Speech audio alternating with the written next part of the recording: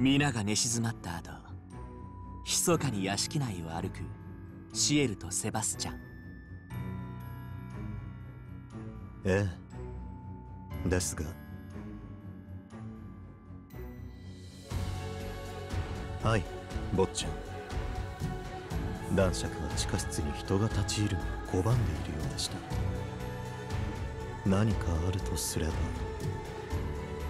シエルを見送りセバスチャンは地下室へと向かうその手には昼間の対決時に隙を見て拝借した。鍵があっ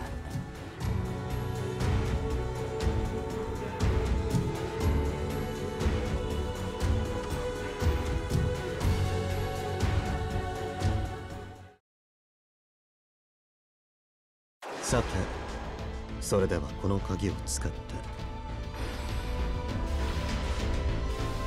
扉の奥には何があるのでしょうかね。ほう。これはこれは。本当に人間というものは秘密を抱えることが好きですね。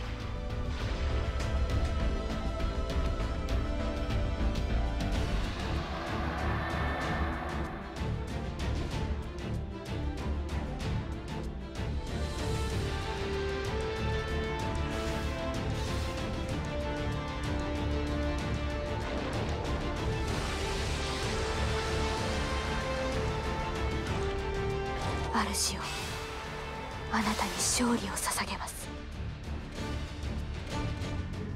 一方屋敷の2階をさまよっていたシエル。